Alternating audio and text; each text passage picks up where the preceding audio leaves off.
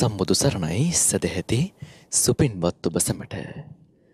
ජාතියේ පොතුනාලිකාව බෞද්ධ රූපවාහිනිය සදහැති ඔබ වෙනුවෙන් සංනිවේදනය කරන සසරින් නිවනට දේශනා මාලාවේ තවත් උතුම් වූ දායකත්ව සතරමානු ශාසනාවක් අපේ මෙලෙසින් ඔබ වෙත සමීප කරන්නටයි මේ සූතානම. අදත් මේ උතුම් වූ දේශනාව වෙනුවෙන් සුපුරුදු ආරාධනයෙන් වැඩමවා වදාළ පෙළියන්දල කහපොළ ශ්‍රී සතරමාරාම පුරාණ විහාරාධිපති පූජනීය තපෝවනේ අරියතච පින්වත් ස්වාමින් වහන්සේ අපි හැමදෙනාම දොහොත් මුතුරත් මැද සාදු නදින් දම්සභා මණ්ඩපේ වෙත පිළිගනිමු. අවසරයි අපේ හාමුදුරුවනේ. සාදු සාදු සාදු. සදෑවතුනේ අද මෙයුතුම් වූ දේශනා වෙනුවෙන් පුණ්‍යවන්ත දායකත්වය ලබා දෙනවා වැලිමඩ බෝගා කුඹුර අංක 56 නිවසේහි පදිංචි හේමා රත්නායක මහත්මිය ප්‍රධාන දෝතරු පිරිස විසින්. එහෙමනම් මෙතෙන් පටන් මේ උතුම් වූ දේශනාව පවත්වන්නට ගෞරවනීය ස්වාමින් වහන්සේට নমස්කාර පූරකව ආරාධනා කරමු. සාදු සාදු සාදු සමන්ත චක්කවාලේසු අත්‍රා ගච්ඡන්තු දේවතා සද්ධම්මං මුනි රාජස්ස සුනන්තු සග්ග මොක්කදං ධම්මස්සවන කාලෝ අයං බදන්තා ධම්මස්සවන කාලෝ අයං බදන්තා ධම්මස්සවන කාලෝ අයං බදන්තා නමෝ තස්ස භගවතු අරහතෝ සම්මා සම්බුද්දස්ස. නමෝ තස්ස භගවතු අරහතෝ සම්මා සම්බුද්දස්ස. නමෝ තස්ස භගවතෝ අරහතෝ සම්මා සම්බුද්දස්ස. සද්ධා බුද්ධ සම්පන්න කාරුණික පින්වත්නි බෞද්ධ මාත්‍චාලය හරහා සෑම බ්‍රහස්පතින්දා දිනකම උදේ 8 සිට 9 දක්වාත් බෞද්ධ ගුවන්විදුලි හරහා රාත්‍රී 10 සිට 11 දක්වාත් නැවත බෞද්ධ රූපවාහිනිය හරහා රාත්‍රී 12 සිට 1 දක්වාත් දේශනා කරගෙන එනු ලබන ධර්ම දේශනා මාලාවක්. ඒ ධර්ම දේශනා මාලාවේ මාතෘකාව සසරින් නිවනට. විසුද්ධි මාර්ගය උපකාර කරගෙන ලංකාවාසී සියලු දෙනාටත් ලෝකවාසී සියලු දෙනාටත් ධර්ම අවබෝධය ඇති කර ගැනීම සඳහා දායකත්වයක් දරමින් ප්‍රාර්ථනාවක් බලාපොරොත්තුවක් අපේක්ෂාවක් තියෙනවා. ඒ දායකත්වයේ දරන්නේ වැලි මඩබෝ ගහ කුඹුර අංක 56 පදිංචි හේමාරත්නායක මහත්මිය ඇතුළු දරු පිරිස. පරලොස්සපත් අයට පින් අනුමෝදන් කරන්නට බලාපොරොත්තු වෙන මීට වසර 31කට පෙර එනම් 1989 9යි 1යි 27 වෙනි දින අභාව ප්‍රාප්ත වූ වැලි මඩබෝ ගහ කුඹුරේ රත්නායක මැතිතුමාට පින් අනුමෝදන් කිරීමට දෙපාර්ශ්වයේම පරලොස්සපත් ඥාතීන්ට පින් දෙන්නට සෙත් ප්‍රාර්ථනා කරනවා සුජීවත්ව සිටින මෑණියන් වන බණ්ඩාර මැණික්කේ මාතාවට මුණුබුර මිනිපිරියන්ගේ අධ්‍යාපන කටයුතු සාර්ථක කරගන්නට ධර්ම දේශනාව සිදු කරන ගරුතර ස්වාමින් වහන්සේට සෙත් ප්‍රාර්ථනා කරන්නට ධර්ම දේශනාව ශ්‍රමණේ ශ්‍රවණය කිරීමට පැමිණි පවුලේ සියලු දෙනාට සහ ලෝවැසි සියලු දෙනාට සෙත් ප්‍රාර්ථනා කරනවා. මෙන්න මේ අරමුණු ඉදිරියෙන් තියාගෙන තමයි මේ පින්කමේ දායකත්වය අරගෙන බලාපොරොත්තු වෙන්නේ මේ අරමුණු ඉටු කරගන්න. බුදුරජාණන් වහන්සේ දේශනා කළේ තම තමන්ගේ යම් අපේක්ෂාවක් බලාපොරොත්තුවක් අරමුණක් ඉටු කරගන්න නම් ඒ සඳහා පින්කම් තියෙනවා. පින් කියන්නේ සතුටට. කම් කියන්නේ සිතුවිලි වලට. සතුටු සිතුවිලි වලට පින්කම් කියනවා. ධර්ම දානමේ පින්කම. ධර්මය පරිත්‍යාග කරලා සතුටු සිතුවිලි ටිකක් ඇති කරගන්නවා. ତර පරලව ගියාය ඉන්නවා නම් අසතුටෙන් එයා සතුට වෙනවා. ඒ සතුට වෙනවට කියනවා පත්ති දාන. පත්තානුමෝදන. පත්ති කියන්නේ පින්, පින කියන්නේ සතුට, දානය කියන්නේ අත පරිත්‍යාග කරනවා. පත්තානුමෝදනා පත්ත කියන්නේ පින්, පින කියන්නේ සතුට, අනුව මෝදනය කියන්නේ සතුට වෙනවා. පරිලව ගියාට සතුට වෙන්න පුළුවන්. ඔයත්තන්ට සතුට වෙන්න පුළුවන් වටිනා උදාාර පින්කමක් තමයි මේ අවස්ථාවේ සිද්ධ කරන්නේ ධර්ම දානමය පින්කමක් හැටියට. ඒතර මේ ධර්ම දේශනා මාලාව මේ අවුරුද්දේ මුල් සතියේ ආරම්භ වුණේ ධර්ම දේශනා මාලාවක් හැටියට මේ විසුද්ධි මාර්ගයේ අපි සීල විසුද්ධි, චිත්ත විසුද්ධි පිළිබඳව තමයි පසුගිය ධර්ම දේශනා තුළ පැහැදිලි කළේ. ඉතින් අදත් අපි ඒ චිත්ත විසුද්ධියේ තව කරුණු කාරණා ටිකක් තියෙනවා පැහැදිලි කරන්නට. ඊට පස්සේ අපි ditthi විසුද්ධි, කාංකා විතරණ විසුද්ධි, මග්ගම් මග්ග ඥාන දර්ශන විසුද්ධි, ප්‍රතිපදා ඥාන දර්ශන විසුද්ධි හා ඥාන දර්ශන විසුද්ධි කියන මේ සප්ත විසුද්ධීන් ඊ타ත්ම निराවුල්ව පැහැදිලිව පිරිසිදුව සරලව අපි දේශනා කරලා අපේ ප්‍රාර්ථනා බලාපොරොත්තු ඒ සියලු දෙනාම මේ භවය තුල එහෙම නැත්නම් ඉක්මන් භවයක් තුල මේ සංසාර ගමනින් නිදහස් කරන්න. බුද්ධ පුත්‍රයන් වහන්සේලා වශයෙන් ලෝතර බුදුරජාණන් වහන්සේ අපට අනුදැන වදාළේ ඒකයි. එකමග දෙන්නේ කියන්නේ නැතුව සියලු ලෝක සත්‍යයේ යහපත පිණිස, අභිවෘද්ධිය පිණිස මගේ මේ ධහම ලෝකයේ ප්‍රචලිත කරන්න. ඒ තථාගතයන් වහන්සේගේ අනුශාසනාව ඒ ප්‍රකාශය අපි අනුගමනය කරමින් ධර්ම දේශනාව සිද්ධ කරනවා. හොඳින් අහන්න. ගාම්භීර ධර්මයක්. ඒ ධර්මය ගැඹුරු බව නිසා තමයි අපිට මෙච්චර කාලයකට මේක හරියාකාරව අවබෝධ කරගන්න බැරි වුණේ. අදත් අපි ඒක සාවධානව හොඳින් සිත එකඟ කරගෙන සිත තැන්පත් කරගෙන ඒ අරමුණේම සිත පිහිටවාගෙන ධර්මය ශ්‍රවණය කළොත් අපට මේ සම්බුද්ධ ශාසනයේ උපරිම ඵල නෙලා ගන්න පුළුවන්. ඒ සඳහා දේශනාව සිද්ධ කරනවා. එහෙනම් හොඳින් අහන්න. මීට කලින් ධර්ම දේශනාවල අපි සිද්ධ කළේ ඒ චිත්ත විසුද්ධි පිළිබඳව. සීල විසුද්ධිය මුලින් පැහැදිලි කරා. තොර අදත් මේ ධර්ම දේශනාව චිත්ත විසුද්ධියම මූලික කරගෙන සිද්ධ කරනවා. ඉදිරි දේශනාවල ditthi විසුද්ධි පිළිබඳව ගොඩාක් පැහැදිලි කරන්නට වෙයි. හොඳට අහන්න සෑමදාම අහන්න මගේ හැරුණොත් අහන්න තව ක්‍රමයක් තියෙනවා. ඒ රාත්‍රියේ මධ්‍යම රාත්‍රියේ අහන්න පුළුවන්. අපි මේ කලින් ධර්ම දේශනාවේ සාකච්ඡා කළේ ධ්‍යාන පිළිබඳව. ධ්‍යාන කියන්නේ ධ්‍යාන කියන්නේ සමාධියේ උපරිම අග්‍රඵලය. සමාධි කියන්නේ සමාධි කියන්නේ චිත්ත ඒකාග්‍රතාවය. සිත තැන්පත් සිත විසිරෙන්නේ අරමුණේ වැඩි වෙලාවක් රඳවා තබා ගැනීමේ හැකියාවට කියන සමාධි කියලා. ඒ සමාධියේ අග්‍රඵලය ධ්‍යාන. එතකොට පසුගිය ධර්ම දේශනාවෙත් අපි කතා කළේ ධ්‍යානයක් උපදවන පිළිවෙල. ඒකට මම එක කමටහනක් තමයි ධර්ම දේශනාව විස්තර කරන්න ලැබුණේ කාලයත් එක්ක. අදත් තව කමටහන් කීපයක් තුලින් ඒ ධානයක් උපදවා ගන්නට ධානයක සුවයක් තියෙනවා. හැබැයි తాවකාලිකයි. මේ ධාන ලෞකිකයි. ලෝකෝත්තර නෙමෙයි. සංසාර දුකෙන් නිදහස් වෙන්න විදර්ශනා වඩන්න ඕනේ. ධාන තුලින් කරන්නේ ඒ විදර්ශනාවට උපකාරයක් කිරීම. පසුගිය ධර්ම දේශනාවේ පැහැදිලි කරේ ධානයක් පහසුවෙන් උපදවා ගන්න ක්‍රමයක්. අපි අහලා තියෙනවා මේ මුළු විශ්වයේම අධ්‍යාත්මික ශරීරය හා බාහිර ලෝකය නිර්මාණය වෙලා තියෙන්නේ සතර මහා ධාතුන්ගෙන් කියන කාරණය. සතර කිව්වේ හතරට. මහා භූත කියලා කියත් කියනවා. භූත කියන්නේ භූත කියන්නේ පෙනෙන්නේ නැති හින්දා. භූතයෝ දර්ශනය වෙන්නේ.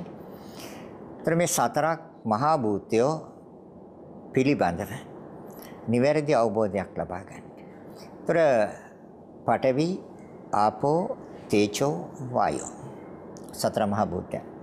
ඒතර මේ කසිනවලක් තියෙනවා පඨවි, ආපෝ, තේජෝ, වායෝ, නීල, පීත, ලෝහිත, ඕදාත, ආලෝක, ආකාශ. ගිය ධර්මදේශනාවේදී පැහැදිලි කරේ පටවි කසිනයක් උපකාර කරගෙන ධානයක් උපදවන පිළිවෙල. හැබැයි මේක නිවන නෙවෙයි. වර්ධවත් තේරුම් ගන්න එපා. අපි මේ නිවනට අවශ්‍ය කරන මඟ හදනවා තාම. දිට්ටි විසුද්ධියේ ඉඳලා ටිකටම දේශනා කරන්නේ නිවනටම. ආපෝ ගතිය කියලා දෙයක් අපේ ශරීරය තුලක් තියෙනවා බාහිරක් තියෙනවා. ආපෝ කියන්නේ ඇලෙන ගතිය, වැగిරෙන ගතිය, දීර්ඝ ගතිය. මේ ඇලෙන ගතිය, වැగిරෙන ගතිය, දීර්ඝ ගතිය උපකාර කරගෙන අපට පුළුවන්කම තියෙනවා සිත ඒකාග්‍රතාවයකට ගන්න. කොහොමද ගන්න? වතුර වීදුරුවක් ගන්නවා. ඇතුළත පේන හොඳ වතුර වීදුරුවක්. අරගෙන මේ වගේ ස්ටූල් එකක ඉස්සරහෙන් තියාගෙන පිටිපස්සෙන් වාඩි වෙනවා. වාඩි වෙලා අර වතුර වීදුරුව දිහා බලාගෙන වීදුරුව නෙමෙයි වතුර වීදුරුව ඇතුලේ තියෙන දියරේ වතුර පිරිසිදු වතුර අරමුණු කරනවා. අරමුණු කරලා අතීතයයි අනාගතය අතහරිනවා සිතින්. ඇයි? අපේ සිතේ ප්‍රවෘත්තිය තියෙන්නේ අතීත වර්තමාන අනාගත කියන කාලත්‍රය තුල. අතීතයයි අනාගතයයි අතහැරියාම සිතට නවතින්න වෙන්නේ වර්තමානයේ. වර්තමානයේ මේ මොහොතේ. එතකොට මේ මොහොත වර්තමානයේ මේ මොහොතේ අපේ සිත තිබ්බා අර වතුර එහෙම නැත්නම් ඒ දියර ගතිය තුල. අතීත අනාගත එක අතහැරියා සියලු අරමුණු සිතෙන් අතහැරියා. නීවරණ එනවද කියලා බුද්ධියෙන් බලන් ඉන්න ඕනේ. සිහියෙන් යුක්තව බලාගෙන ඉන්න ඕනේ නීවරණ එනවද කියලා. නීවරණ දන්නවා. මම මීට කලින් ධර්ම දේශනාවල පැහැදිලි කළා ඇති. ඒ නීවරණයන්ගෙන් සිත ආරක්ෂා කරගෙන අර දියරිය දිහා හොඳට බලාගෙන ඉන්න. සිත පණී යාකට ගැටලුවක් නෑ ආයි ගන්න. ආයිත් පණී. කො අනාගතයට යයි කො අතීතයට යයි. ආයි ගන්න. අරගෙන නැවත අර වතුරට සිත තියන්න. සිත යොමු කරන්න. ආපහු යයි ආපහු ගන්න. ආපහුත් යයි ආයි ගන්න. ඒ සිත බාහිරට යන යන සැරේට ආපහු අරන් දෙන ශක්තියක් තියෙන අපේ මනසේ. ඒකට කියනවා සතිය කියලා. සතිය කියන්නේ සිහිය. සිහිය හරියටම පිහිටුවා නම් ඒකට කියනවා සතිපට්ඨාන කියලා. ඒකයි නොයම් බික්කවේ මග්ගෝ. ඒක මාර්ගයයි. සිහිය පිහිටවීම. එහෙනම් මේ සිහිය පිහිටුවාර ජලය තුල අතීත අනාගත දෙක අතහැරලා අර පංච නීවරණ සිතින් බැහැර කරලා අතන සිත තුබ්බහම සිත එතන නවතිනවා. හැබැයි මේකට වීරියක් ඕනේ, උත්සාහයක් ඕනේ, උනන්දුවක් ඕනේ, කැපවීමක් ඕනේ. ඒ තුලින් ටික වෙලාවක් යනකොට අර ජලය පිළිබඳ ඒ වතුර වීදුරුව වීදුරුව ඇතුලේ තියෙන ජලය අපේ සිත තුළ හොඳට සනිටුහන් වෙනවා. සිතේ හොඳට තැන්පත් වෙනවා. සිතට හොඳට අනුගත වෙනවා. මේක ප්‍රායෝගිකව අත්හදා බලන්න. ගෙදර ගිහින් කාමරයක් තුල මේ ප්‍රායෝගිකව අත්හදා බලන්න. මොකද බෞද්ධ දර්ශනය තුල ඉදිරිපත් කරන න්‍යාය තමයි සිත හදන එක. කය හදලා වැඩක් වෙන්නේ. මේක දාලා කොයි වෙලේ හරි යන්න වෙනවා. සිතට ගත්ත දේ අරන් යනවා අතට ගත්ත දේ තියලා යනවා. අතට ගත්ත දේ කවුරුවත් අරන් ගියේ සිතට ගත්ත දේ විතරයි අරන් එහෙනම් අර බාහිර අරමුණු අතහැරලා අර විදියට හොඳට බලාගෙන හිටියාම ඒ ස්වභාවය සිතට හොඳට ඇතුළත් වෙනවා අනුගත වෙනවා සිතේ හොඳට සනිටුහන් වෙනවා. සිතේ හොඳට පිහිටනවා. ඊට පස්සේ පැත්තකට ගිහිලා වාඩි වෙලා දැස පියාගන්න අර වතුර වීදුරු ඇතුලේ තියෙන ජලය ටික හොඳට පේනවා. ඇස් දෙකට නෙමෙයි මනසට. ප්‍රායෝගිකවත් හදා බලන්න හොඳට පේනවා මනසට එතකොට අර නිමිත්ත අවශ්‍ය වෙන්නේ කයින් කරන්න ඊට පස්සේ හැබැයි ඒ තුල සිත හොඳට බලවත් කරන්න. පැත්තකට වෙලා ඉඳගෙන අර වතුර වීදුරුව නැවත නැවත නැවත නැවත මෙනෙහි කරලා සිතේ ඒක හොඳට බලවත් කරන්න. බලවත් කරනකොට ওই විදිහට ආලෝකයක් ඒ ආලෝකය ඉස්සෙල්ලාම එන්නේ මේ කලාමැදිරි එළියක් වගේ. ඒක විවිධ වර්ණයන්ගෙන් නෙයි. සෑම කෙනෙකුටම එකම වර්ණය එන්නේ නැහැ. විවිධ වර්ණ වලින් එන්නේ නිල් පාට, කහ පාට, රෝස පාට, දම් පාට, රිදී පටක් වගේ, වලාකුලක් වගේ ඒ ආදි වශයෙන් එයි. කලා මැදිරි වෙලියක් වගේ තමයි ඉස්සෙල්ලාම ඉන්නේ. එතකොට ඇත්තන්ට තේරෙනවා මගේ සිත හොඳට එතන නැවතිලා කියලා. ඊට පස්සේ ටිකක් හිතන්ට මේක ටිකක් ලොකු වුණොත් හොඳයි කියලා. හැබැයි මේක සනෙන් එල සනෙන් නැති වෙනවා. ආයෙ හිතුවාම ආයෙ එනවා. ඊට පස්සේ ටිකක් හිතන්න මේක මට ටිකක් ලොකුවට පේනවා නම් හොඳයි කියලා අදිෂ්ඨානයක් ඇති කරගන්න. ටික වෙලාවක් යනකොට මේක ලොකු වෙලා පේනවා. ඒක අඟල් දෙකක් තුනක් වගේ පේනවා. ඒකට කියනවා පරිත්තාලම්බන කියලා. ඊට පස්සේ අපි මේක ඒ වෙලාවේ ධ්‍යාන උපදවන්න පුළුවන්. තවත් අපි ඉදිරියට ගිහිල්ලා ධ්‍යානයක් උපදවා ගන්නවා කියලා හිතුවොත් මේක තව විශාල වෙන්න කියලා හිතනවා. එතකොට මේක පේනවා අඩියක් විතර විශාලට පේනවා. ඒකට කියනවා මධ්‍යම ආලම්බන කියලා. මධ්‍යම ප්‍රමාණයට පේනවා. අපි හිතනවා තවත් ටිකක් මේක ලොකු වෙන විශාල වෙන්න කියලා. මිදුලක් වගේ පේනවා. ඒකට කියනවා පරිත්තාලම්බන, අතිපරිත්තාලම්බන, අපමාන ලම්බන, අප්‍රමාණ ලෙස පේනවා. මේ අවස්ථා තුනෙන් ඕන අවස්ථාවක ධානය උපදවන්න පුළුවන්. ତොර ධානය කියන්නේ අරමුණ හොඳට ලං කරලා බැලුවා. ලං කරලා බලපු අරමුණ සිතේ හොඳට සනිටුහන් වුණා. සිතේ හොඳට බලවත්ව පිහිටියා. චිත්ත ඒකාග්‍රතාවය. විතර්ක, ਵਿਚාර, ප්‍රීති, සුඛ ඒකාග්‍රතාව. චෛතසික පහක් යදෙනවා. විතර්ක කියන්නේ කල්පනා කරනවා, ਵਿਚාර කියන්නේ සොයා බලනවා, ප්‍රීති කියන්නේ සතුට, සුඛ කියන්නේ ශරීරයට හොඳ සුවයක් දැනෙනවා. මනසට හොඳ සුවයක් දැනෙනවා. ඒකාග්‍රතාව සිත හොඳට නැවතිලා. මේ චෛතසික පහ යෙදෙනවා Tamanට දැනෙනවා. Tamanට තේරෙනවා. Tamanට වැටහෙනවා. දැනගන්න මම ප්‍රථම ධානයේ උපදවා ගත්තා කියලා හැබැයි කාටවත් කියන්න යන්න එපා. කාටවත් කියන්න යන්න එපා. මණිකක් හම්බුනොත් ඒක පෙන්න පෙන්න ඇවිදිනවද? අහල පහල අයට පෙන්න පෙන්න මට මේ වගේ එකක් ලැබුණා කියලා. නෑ නේද? මොකද කරන්නේ ඒක? කාටවත්ම කියන්නේ නැතුව පරිස්සම් කරලා හංගලා තියෙනවනේ. අන්න ඒ වගේ තමයි මේකත්. පරිස්සම් කරලා හංගලා තියාගන්න. මේක ඕනි. මොකටද? ඉදිරියේදී. ඉදිරියේදී ඕන වෙන්නේ. එහෙනම් ඉදිරියේදී ඕන වෙන දෙයක්, ඕන කරන දෙයක්, ප්‍රයෝජනවත් දෙයක් අපි මොකද කරන්න පරිස්සම් කරගන්න ඕනේ. ඒක පරිස්සම් කරලා තියාගෙන නැවත නැවත ධානයට සමාදින්න. ඊට පස්සේ නැවත නැවත මේ ධානයට සමාදිනකොට විතර්කය අයින් වෙනවා. විතර්ක කියන්නේ කල්පනා කරනවා. අයි කල්පනා කරන්න දෙයක් නැහැ. Taman සිතපු ගමන් අර ආලෝකේ පේනවා. ඒතර විතර්කය අයින් වෙනවා කියන්නේ විචාර ප්‍රීති සුඛ එකග්ගත. ඒ දෙවෙනි ධානයේදී. තුන්වෙනි ධානයේදී දැන් මේක නිතර නිතර එනවා. ඊට පස්සේ විතර කල්පනා කරන්න ඕනෙත් නැහැ. සොයා බලන්න ඕනෙත් නැහැ. ප්‍රීතියයි පස්සදීම නැත්නම් සංසිඳීමක් තියෙනවා. ප්‍රීති සුඛ ශරීරයට හොඳ සුවයක් දැනෙනවා. සිත හොඳට එතන නැවතිලා. ඒ තුන්වෙනි ධානය. ඊට පස්සේ ටික වෙලාවක් ওই විදිහට ඉන්නකොට ටිකක් ඕකේ හොඳට පුරුදු කරනකොට ප්‍රීතියත් අයින් වෙනවා. සුඛ එකග්ගතා. ශරීරයට මනසට හොඳ සුවයක් දැනෙනවා. ඒ හතරවෙනි ධානයේදී. පස්වෙනි ධානයේදී උපේක්ඛා එකග්ගතා. අනිකුස් විතක්ක ਵਿਚාර ප්‍රීති සුඛ කියන සියල්ල අයින් වෙනවා. උපේක්ෂා සිත උපේක්ෂාවේ මධ්‍යස්ත ස්වභාවයේ තියෙන. ඒකගත සිත හොඳට නැවතිලා. කැමැතිනම් පහම උපදවා ගත්තත් කමන්නේ. හැබැයි එකක් තිබ්බත් ඇති. මේක ප්‍රයෝජනවත් වෙන්නේ දිට්ඨි විසුද්ධියේදී. එයි දිට්ඨි විසුද්ධියේ ඉඳලා අපි යන්නේ ක්‍රමක්‍රමයෙන් ගැඹුරට. ක්‍රමක්‍රමයෙන් මේ ධහමේ ගැඹුරට යනවා. ගැඹුරට යනකොට මේ සිත දඟලනවා. සිත වික්ෂිප්ත වෙන්න හදනවා. විසිරෙන්න හදනවා. ඒ වෙලාවට ධානය සිහි කරනවා. ධානය ඒ විදර්ශනා කරන එක නවත්තලා ධානය සිහි කරනවා. ධානය සිහි කරපුවාම ධානය පහළ වෙනවා. ශරණෙන් එනවා. ඒ තුල ටික වෙලාවක් ඉඳලා ආයි චිත්ත ඒකාග්‍රතාවය තුළින් ආයි විදර්ශනාවට යනවා.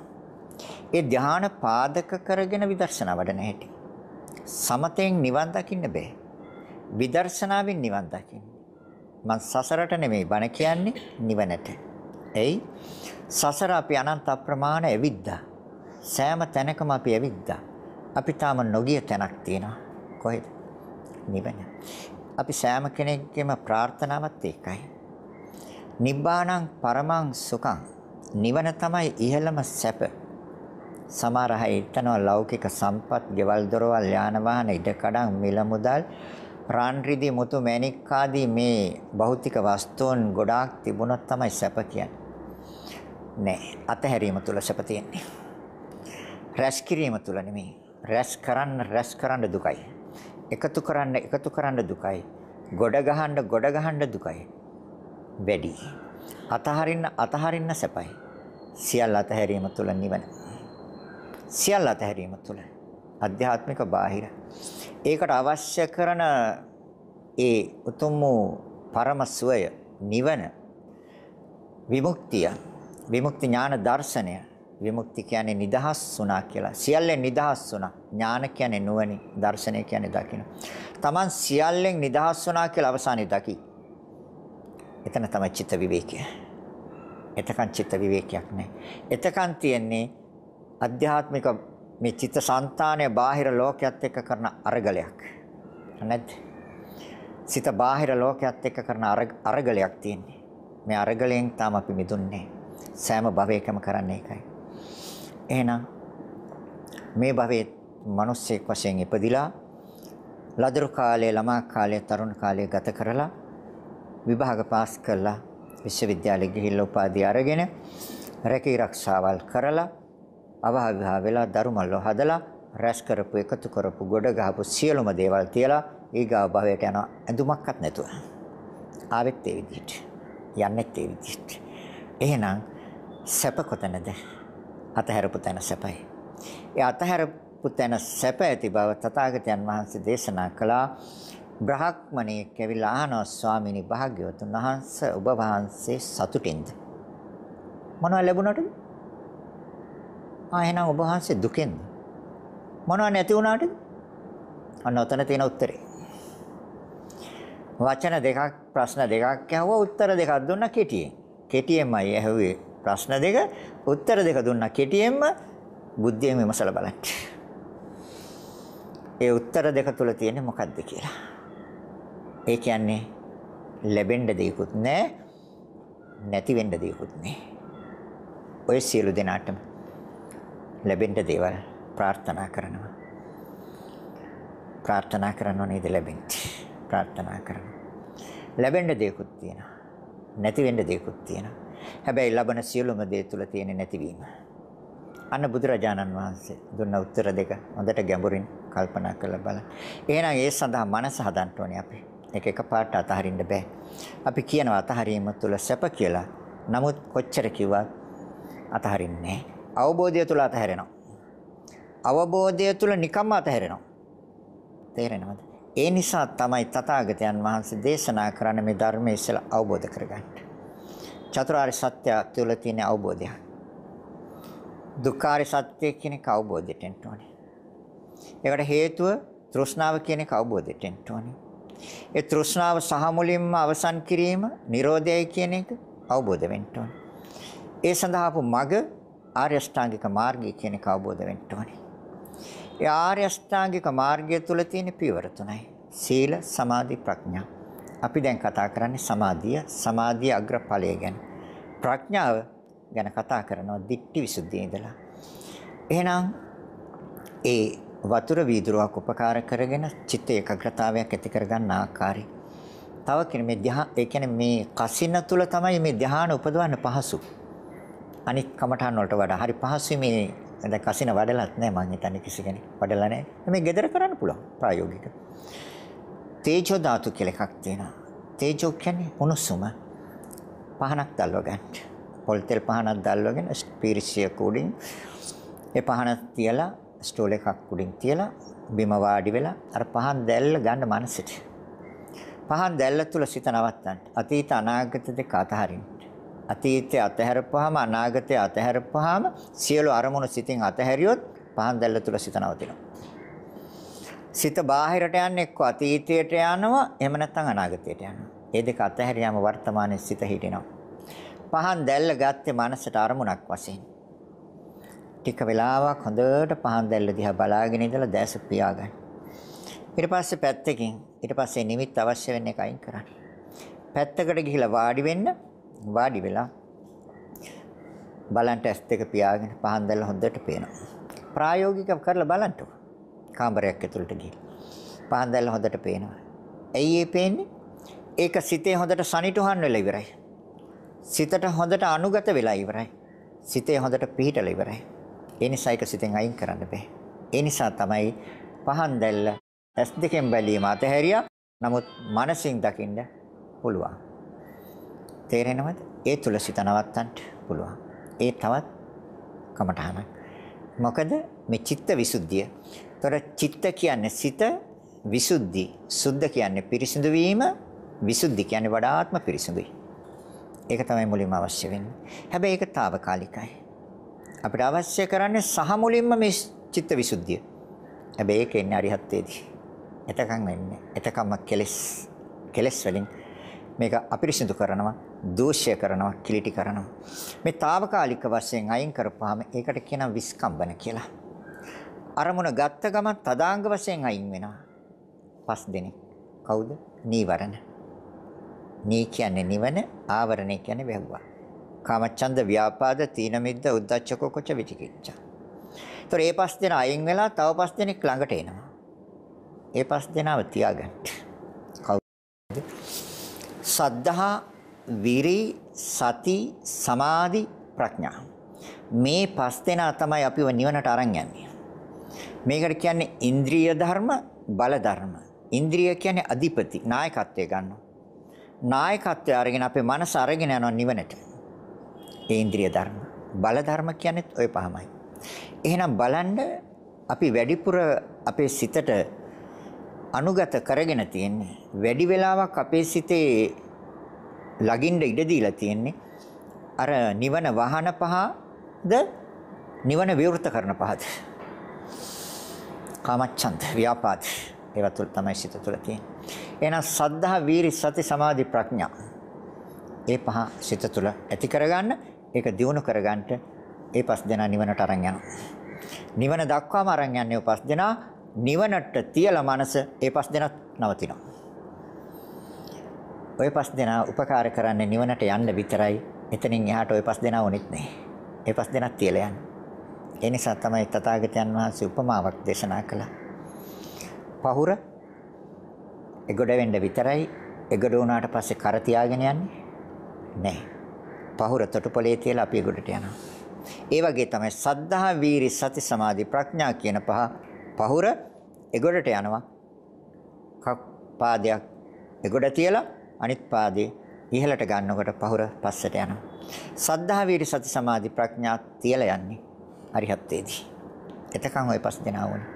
එහෙනම් බුදුරජාණන් වහන්සේ තව ආකාරයක් දේශනා කරනවා චරිත අනුව. මේ සිත සමාධිගත කරන්න, ධ්‍යාන උපදවන්න, චරිත අනුව කමඨහන් ටිකක් දේශනා කරලා තියෙනවා. මම ඉස්සල ධර්ම දේශනාවෙත් සිද්ධ කළා. කර්ම කියන්නේ සිතුවිලි වලට. ස්ථාන කියන්නේ තැනක්. අපේ සිතුවිලි තියෙන්නේ නොමනා තැනක අපි සිතුවිලි වලට මනා තැනක් දෙනවා. ඒකට කියනවා කමඨහන් කියලා. කර්ම කියන්නේ සිතුවිලි. ස්ථාන කියන්නේ තැනක් දුන්නා. ඒක බුදුරජාණන් වහන්සේ චරිතානුව දේශනා කළා. ලෝකේ පුච්චලෝ විවිධයි. නානත්වයක් හා විවිධත්වයක් තියෙනවා. රාගය අධික පුච්චලයෝ ඉන්නවා. ද්වේෂය අධික පුච්චලයෝ ඉන්නවා. මෝහය අධික පුච්චලයෝ ඉන්නවා. සද්ධාව අධික පුච්චලයෝ ඉන්නවා. විතර්කය අධික පුච්චලයෝ ඉන්නවා. බුද්ධිය අධික පුච්චලයෝ ඉන්නවා. රාග, ද්වේෂ, මෝහ. සද්ධා, විතර්ක, බුද්ධි. චරිත හයක් තථාගතයන් වහන්සේ දේශනා කරනවා. ඒ චරිතයට අදාළ කමඨහන් දේශනා කරනවා. රාගය. රාගය මෙතනදී බුදුරජාන් වහන්සේ දේශනා කරන මේ පුරුෂ පක්ෂයට ස්ත්‍රී පක්ෂය කෙරෙහි ඇති වෙන සිතුවිලි ආ ස්ත්‍රී පක්ෂයට පුරුෂ පක්ෂය කෙරෙහි ඇති වෙන සිතුවිලි. මේ සිතුවිලි සිත කය දවන ගින්නක්. සිත කය දවන ගින්නක්. මිත්‍ර වේශයෙන් යන හතුරෙක්. ಗುಣදහම් පැහැර ගන්න හොරෙක්.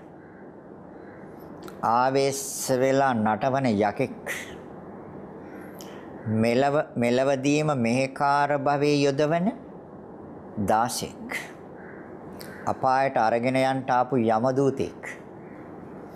ඒ විදිහට හිතන්න. රාගය ඇති වුනහම මොකද වෙන්නේ? සිත කය දෙකම දෙවිල්ල නැද්ද? දෙවිල්ලයි. සිත කය දෙකම දානවා. ඒ ලබා ගන්න තුරු මොනතරම් ගැටෙනවද? මොනතරම් ධනයක් වියදම් කරනවද? මොනතරම් කැපවීමක් කරනවද? කල්පනා කරලා බලන්න. සිත කය දවන්නේ මිත්‍ර වේශයෙන් එන්නේ හැබැයි යහපතක් කරන ආකාරයෙන් එන්නේ හතුරෙක්. ගුණදහම් පැහැර ගන්න හොරෙක්. එයි. ඒ ලබා ගන්න සිත යම් තැනක බැඳුනද සිත ඇලුනද ඒක ලබා ගන්න ඕනම දෙයක් කරනවා. සමහර අය මිනිත් මරනවා. සමහර අය ගහබන ගන්නවා. රණ්ඩු සරුවල්, වාද විවාද, කලහ නැද්ද? රාගය හොඳ දෙයක්.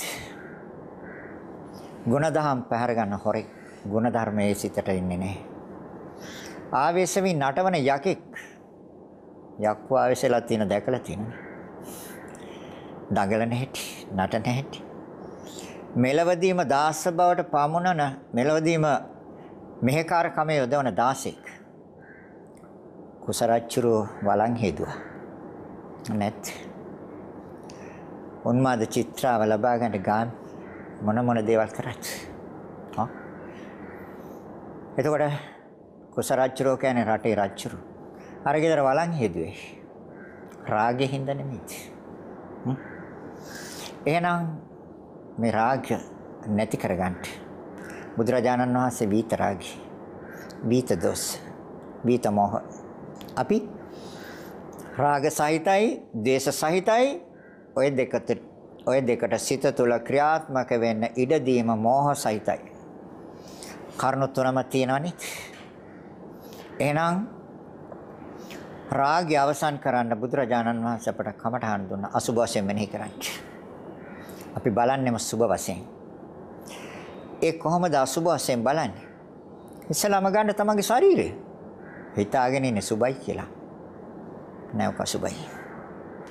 ඔක සුභ දෙයක් නම් ඔක සුවඳ ගන්න දෙයක් තියෙන්න ඕනේ. කොයි කොටසද ඔක සුවඳ ගහන්නේ? පසුගිය ධර්ම දේශනාවේ සිද්ධ කළා. කෙස්ලොම් නියද සම්මස්නහරයට ඇටලොඳ වකුගඩුවක්මා වෙනහලු ආදි වශයෙන් අරගෙන තියලා බලන්න මේසයක් උඩි. මොකද වෙන්නේ කියලා බලන්න. කෙලසෙම සොටු කඳුළු දහඩිය ලේස් සැරව ඒ ටිකක් තියලා බලන්න. පීරිසියක දාලා මේස උඩින් තියලා බලන්න. මොකද කරන්නේ? ලං වෙන්නේවත් නැහැ. ඇයි? අසුබ නිසා.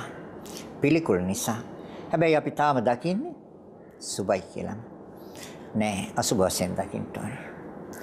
ඒ අසුබ වශයෙන් දකින්න කෙනාට විතරයි රාගය නැති වෙන්නේ. කාන්තාව ලස්සනයි. ලස්සන රූපයක් දැක්කාම බාහිරින් බැලුවොත් රාගය එනවා. අභ්‍යන්තරයේ බැලුවොත් බලන්නකො කෙල ටික, සෙම ටික, සොටු ටික, කඳුළු ටික, දහඩිය ටික, ලේ ටික, සැරව ටික, පිත, මේද තෙල්, උරුණු තෙල්, සඳ මිදුළු, මුත්‍රා ටික දකින්න. අසුචි ටිකක් දකින්න. අපි මෙනෙහි කරන්නේ බාහිර තියෙන කෙස් ටික. නිය ටික. දත් ටික හැම බාහිරින් පේන්න පහක් තියෙනවා. ওই පහට අපි රැවටෙනවා. කෙස්, ලොම්, නිය, දත් සම්. අනිත් එකක්වත් බාහිරින් පේන්නේ අනිත් සියල්ල තියෙන්නේ අභ්‍යන්තරය ඇතුලේ. එහෙනම් අපි බලන්නේ බාහිරින් බලලා අපි තීරණය කරනවා අලංකාරයි කියලා. මේක ස්ත්‍රී පක්ෂයට විතරක් නෙවෙයි පුරුෂ පක්ෂයටත් තියෙනවා. වෙනස තියෙන්නේ ඒ ස්ත්‍රියක් පුරුෂයෙක් හඳුනා ගන්න තියෙන ඒ ස්වභාවයන්ගෙන් විතරයි වෙනස තියෙන්නේ. එහෙම නැත්නම් සියල්ලම සතර මහා භූත. එහෙනම් දැකීමේ වෙනසක් තියෙනවා. දැක්කේ නැහැ නිවැරදිව. සුභ වශයෙන්මයි ගන්න. සුභ වශයෙන් බලන තාක්කල් රාගේනවා. තේරෙනවද? එදා බුදුරජාණන් වහන්සේගේ කාලේ භික්ෂුන් වහන්සේ නමක් කැලේ භාවනා කරන අට්ටික සංඥාව මේ ඇටසැකිල්ල අරමුණු කරගෙන භාවනා කර කර ඉන්නවා. එදා කාන්තාවක් තමගේ ස්වාමියාත් එක්ක කලින් දවසේ රාත්‍රියේ යම් ආරවුලක් ඇති කරගෙන ස්වාමියා රැකියාවට ගියාට පස්සේ කාන්තාව ඇඳුම් ටිකත් එකතු කරගෙන එළියට බහින මහගෙදර යන්න. අදත් තියෙනවනේ. යන්නේ කැලෑව මැදි. ඒ කැලෑව මැදින් යනකොට මේ ස්වාමින් වහන්සේට මුණ ගැහෙනවා. ඒ ස්වාමින් වහන්සේ දැක්කහම මේ කාන්තාවට රාගයක් එනවා. හයියෙන් hina වෙනවා. ස්වාමීන් වහන්සේ බැලුවා බිම් බලාගත්තා. ටිකක් වෙලා බලා හිටියා ස්වාමීන් වහන්සේගෙන් ප්‍රතිචාරයක් නැහැ කාන්තාව ගියා. අර ස්වාමියා ගෙදර ඇවිල්ලා කාන්තාව හොයනවා භාර්යාව භාර්යාව නැහැ. දාන්නවා යන පාර ඒ පාරේ එනකොට හාමුදුරුවෝ තවමත් භාවනා කරනවා. දැනගත්ත මෙතනින් යන්න ඕනේ මේ හාමුදුරුවෝ දකින්න ඇති. අහනවා ස්වාමීනි. අනේ හාමුදුරනේ මේ පැත්තෙන් කාන්තාවක් ගියාද? කාන්තාවක් නම් මන් දැක්කේ නෑ ඇටසැකිල්ලන්න ගියා කිව්වා. ඇයි? හාමුදුරන්ගේ සිත තියලා තිබ්බේ අට්ටික සංඥාවේ. ඒතකොට බාහිරින් නෙමෙයි බැලුවේ. බාහිරින් බැලුවා නම් මොකද වෙන්නේ? රාගය එන්නේ. බාහිරින් බැලුවේ නෑ. එයාගේ සංඥාව, ඒ කියන්නේ හඳුනා සංඥාව කියන්නේ හඳුනා ගන්නවා. එයාගේ හඳුනා ගැනීම තුළ තිබ්බේ ඒ අභ්‍යන්තරේ. ඒතර අභ්‍යන්තරය තුළ දැක්කේ ඇටසැකිල්ල. අපේ ශරීරයේ නැද්ද ඇට කැබලි 300ක් එකකට එකක් සම්බන්ධ කරලා හිසේ ඉඳලා පාදාන්තය දක්වා ඇට කැබලි 300ක් තියෙනවා. දැන් ඔය එකක් ගෙයි මුල්ලක ගෙනත් තිබ්බොත් මොකද වෙන්නේ? gedara innet නෑ යනවා. හැබැයි තමන්ගේ ශරීරය තුල තියෙන දේ දකින්නේ. මේ සෑම කෙනෙක්ගේම ශරීරය තුල මේ ටික තියෙනවද? ඇයි ඒ ටික දකින්නේ නැත්තේ? රාගය ප්‍රහීන වෙන්නේ ওই ආකාරයට දැක්කොත් විතරයි නැත්තම් රාගය එනවා. නැවත නැවත එනවා. නැවත නැවත එන කෙනාට සිත කයි දනවා. දෙවිල්ලම හැදෙනවා. එහෙනම් අන රාගය අධික පුච්චලයට බුදුරජාණන් වහන්සේ දේශනා කරන සුභ වශයෙන් බලන්න එපා අසුභ වශයෙන්ම බලන්න. ඒ අසුභ වශයෙන් බලන්න ඒක සිතට හොඳට අනුගත කරගන්න ඕනේ. ඒ අනුගත කරන ක්‍රමය තමයි අභ්‍යන්තරය තුල තියෙන දේවල් විනිවිද දකින්න උත්සාහ කරන්න. ඒක හැබැයි සිතට හොඳට අනුගත කරගන්න නම් අර මර්චරියට ගිහලා බොඩි එකක් කපන තැනක හිටියොත් ඔක හොඳට බලා ගන්න පුළුවන්. එතකොට හොඳට බලාගන්න. එහෙම නැත්නම් හැබැයි ඉන්ටර්නෙට් එකේ තියෙනවා. අසුබ භාවනා කියලා ටයිප් කරන්න. පිළිකුල් භාවනා කියලා ටයිප් කරලා බලන්න. හොඳට එනවා. ඔය කොටස් ටික ඔක්කොම එනවා. හොඳට එකින් එක එනවා. බලන්න මොනවද තියෙන්නේ කොහොමද තියෙන්නේ කියලා. අන්න ඒ ආකාරයෙන් හොඳට පරීක්ෂා කරලා බලලා ඒක සිතට හොඳට අනුගත කරගන්න. එතකොට ඒකම ඇවිල්ලා පේනවා. අර මම මුලින් කියවනේ වතුර වීදුරුව මනසට අරගෙන දැස පියාගත්තාමත් පේනවනේ. අන්න ඒ වගේ තමයි ඒ අභ්‍යන්තරය තුල තියෙන කොටස් ටික හොඳට සිතට අනුගත කරගත්තොත් S2 ඇරලා බැලුවත් පේන්නේ වගේ. අර හාමුදුරුවෝ දැක්කේ ස්ත්‍රියක් දැක්කේ නෑ. හාමුදුරුවෝ කියනවා ස්ත්‍රියක්ද පුරුෂයක්ද මන් දන්නේ නෑ. ඇටසැකිල්ලක් ගියා. එතකොට මොකද්ද තිබ්බේ? එතකොට සිතට හොඳට අනුගත වෙලා තිබ්බද? හාමුදුරුවන් දැන් අපේ සිතට අනුගත වෙලා තියෙන්නේ මොකක්ද? දැක්කොත් ලස්සනයි. කාන්තා පක්ෂයට පුරුෂ පක්ෂයත් එහෙමයි පුරුෂ පක්ෂයට කාන්තා පක්ෂයත් එහෙමයි. ඔව්ද නැත්? නෝනින් විමසලා බලන්න. මේක නැති කරගන්න ඕනේ. මේක කවදා හරි නැති කරගන්න වෙනවා. මේක තියෙන්න තියෙන්න අපි දුකටමයිපත් වෙන්නේ. එහෙනම් ඒ අසුබ වශයෙන් මෙනෙහි කරන්න ඔය කොටස් 32ක් තියෙනවා. 32ම එකින් එක එකින් එක අරගෙන ගොඩවල් 32ක් ඉස්සරහින් හදාගන්න. කෙස් ටික ලොම් ටික නියදත් සම්මස්නහර ඇට ඇටලොඳ වකුගඩු අක්මාව පෙනහල්ල පපු මස හෘදය බොක්කු බඩවැල් පිත්තාස දිරෝප ආහාර නොදිරෝප ආහාර මොළ කෙලසම සොටු කඳුළු දහඩිය ලේ සැරව පිත්ත මේද තෙල් උරුණු තෙල් සඳ මිදුළු මුත්‍රා. 32ක් හදාගන්න මනසින් ගොඩවල් 32ක් ඉදිරියේ ශරීරේ. එක එක අරන් බලන්න. ලං කළ බලන්න හොඳට. මනසින් බලන්න. මොකද හිතෙන්නේ? ආසාවෙන් පරිහරණය කරන්න හිතෙයිද පිළිකුලෙන් බැහැර කරන්න හිතෙයිද? සත්‍ය මොකද්ද වෙන්නේ? දැන් මොකද්ද කරන්නේ? ආසාවෙන් පරිහරණය කරනවා. ආසාවෙන් පරිහරණය කරන තාකල් රාගය න ะ. රාගේ බාහිර ශරීරෙ පිට තමගේ ශරීරෙ පිළිබඳව තියෙන ඇල්ම. ඒකත් රාගයමයි. එහෙනම් අර විදිහට මෙනෙහි කරන්න මෙනෙහි කරන්නට අභ්‍යන්තරයේම හොඳට සිතට අනුගත වුණොත් ඊට පස්සේ ඕන තැනක බය නැතුව ගිහිල්ලා ඉන්න පුළුවන් විශාල ජනකායක් මැද්ද හිටියත් එයාලගේ බාහිර වශයෙන් නෙමෙයි දකින්නේ අභ්‍යන්තරයේ තියෙන කොටස් ටික ලස්සනටම ඇවිල්ලා පේනවා ඒ තුල මොනතරම් හොඳ තැනක හිටියත් යාට රාගයක් එන්නේ නැහැ එහෙනම් අසුබ වශයෙන් හා කායිගත සති මෙන්න මේ කමඨහන් දෙක රාගය අධික පුච්චලයට බුදුරජාණන් වහන්සේ අනුදැන වදාලා. කායගත සති. කාය කියේ ශරීරයට. ඒ ශරීරයේ තියෙන ගතිය මෙනෙහි කරන්න. කොහොමද? කෙස්. කෙස් කියනකොට කෙස් වල සිත තියන්න. ලොම් කියනකොට ලොම් වල සිත තියන්න. නිය කියනකොට නිය වල සිත තියන්න. දත් කියනකොට දත් වල සිත තියන්න. සම් කියනකොට සම් වල සිත තියන්න. දැස පියාගෙන ටික වෙලාවක් කෙස් ලොම් නිය දත් සම් සම් දත් නිය ලොම් කෙස් බණ හර ලස්සනයි. සිත හරිම තැන්පත් වෙනවා. හරිම සාන්තයි ඒ අරමුණේ හිටින හොඳට.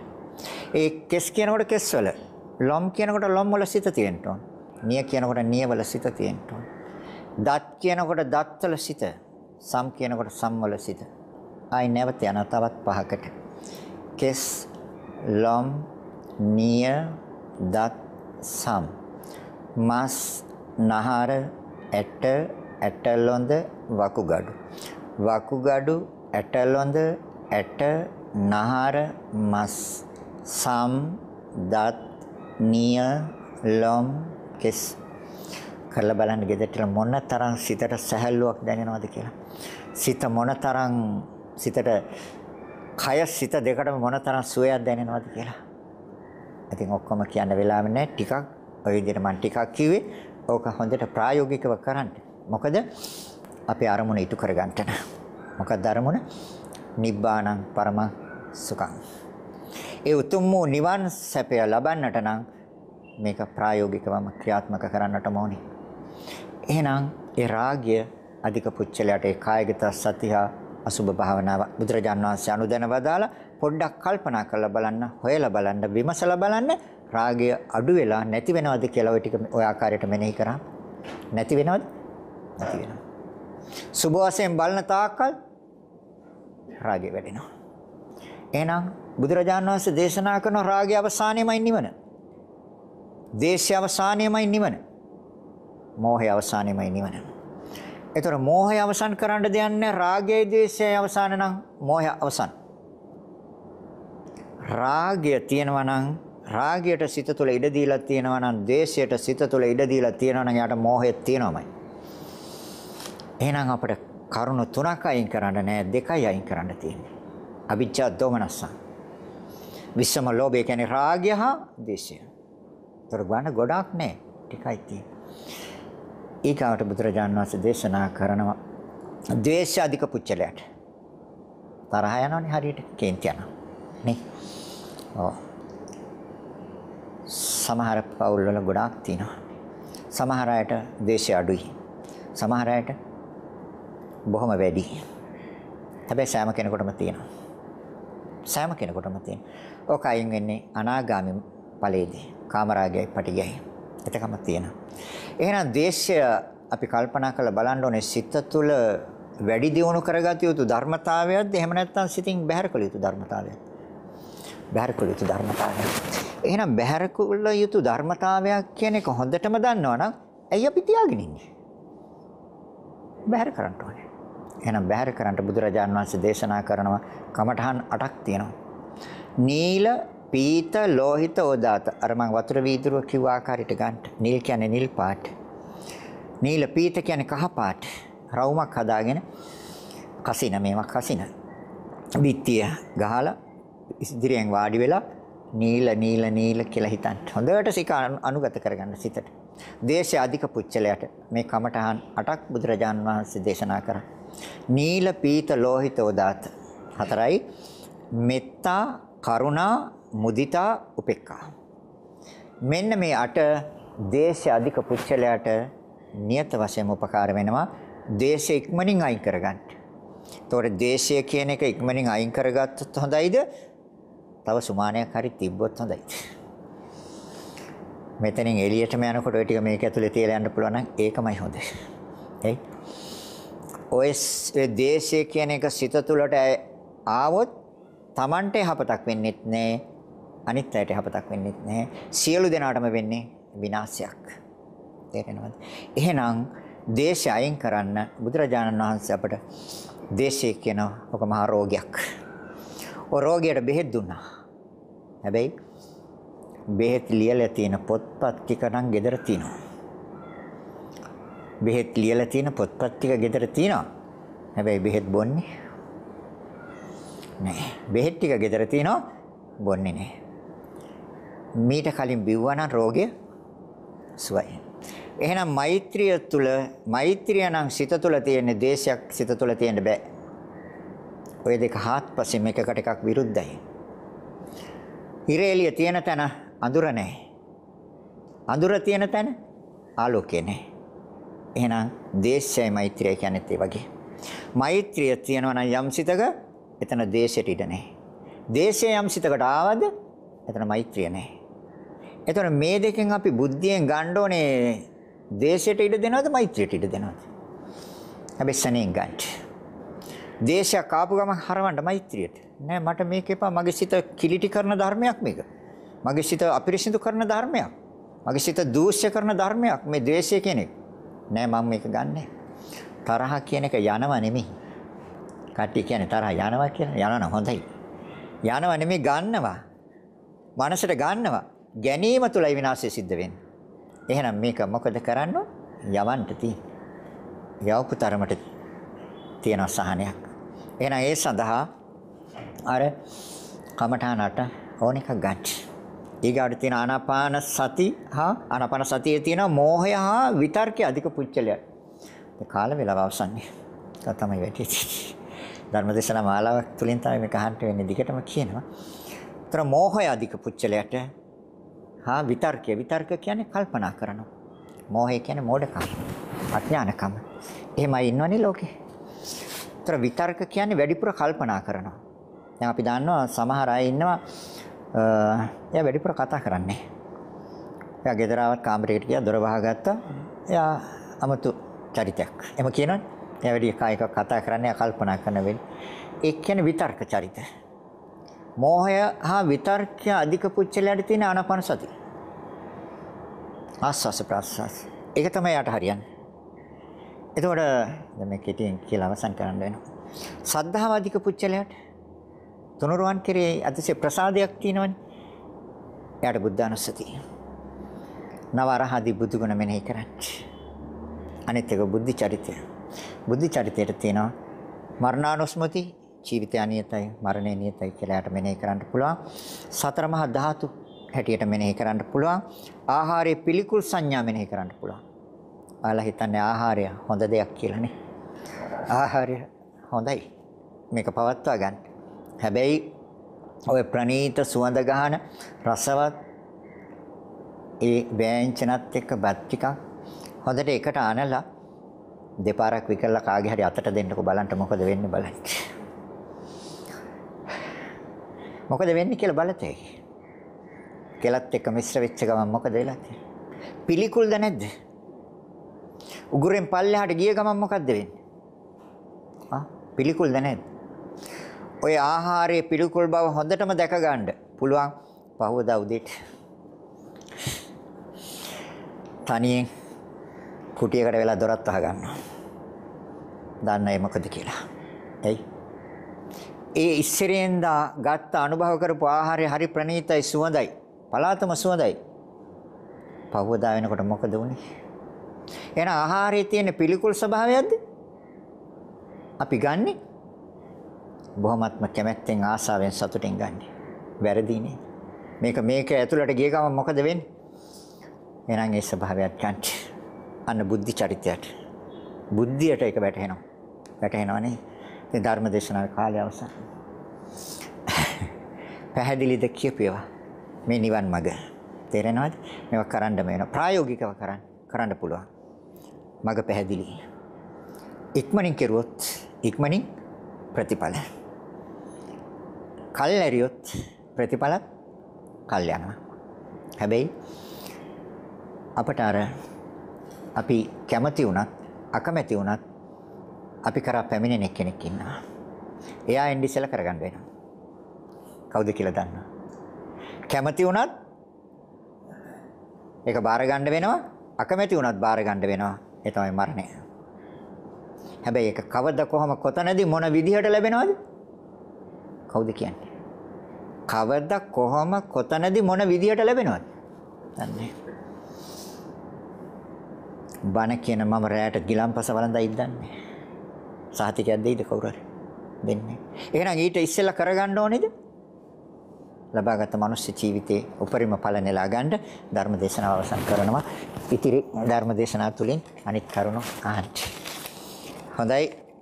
දායකත්වය වැලිමඩ බෝගහ කුඹුර අංක 56 පදිංචි හේමා රත්නායක මහත්මිය ඇතුළු දරු පිරිස ප්‍රාර්ථනා බලාපොරොත්තු මීට වසර 31කට පෙර නම් 1989 ජනවාරි 27 වෙනි දින අභාව ප්‍රාප්ත වූ වැලිමඩ බෝගහ කුඹුරේ රත්නායක මැතිතුමා ඇතුළු දෙපාර්ශ්වයෙන් පරිලෝසපත් සියලු ඥාතීන්. ඒ වගේම සුජීවත්ව සිටින මෑණියන් වන බණ්ඩාර මැණිකේ මාතාවට සෙත් ප්‍රාර්ථනා කරනවා මුණුබුරු මිනි බිරියන්ගේ අධ්‍යාපන කටයුතු සාර්ථක කර ගැනීමට ධර්ම දේශනාව සිදු කරන ගරුතර ස්වාමින් වහන්සේට සෙත් ප්‍රාර්ථනා කරනවා ධර්මයේ ශ්‍රවණය කිරීමට පැමිණි පවුලේ සියලු දෙනාට සහ සියලු ලෝවැසියන්ට සෙත් ප්‍රාර්ථනා කරනවා. එමනම් රැස් කරගත් අනන්ත අප්‍රමාණ පුණ්‍ය ශක්තියින් ඒ වැලිමඩ බෝගහ කුඹුරේ රත්නායක මැතිතුමා ඇතුළු දෙපාර්ශ්වයේ පරලෝසපත් යම් ඥාතියත් නම් ඒ සියලු ඥාතීන් මේ පින් අනුමෝදන් වීමෙන් සුවපත් වේවා. ඒ සෑම කෙනෙක්ම ඊට ඉක්මන් භවයකදී උතුම් වූ නිවනින්ම සැනසෙත්වා කියලා ඉදම් මේ ඥාතීනම් හෝතු කියන ගාතාවන් කියන්නේ.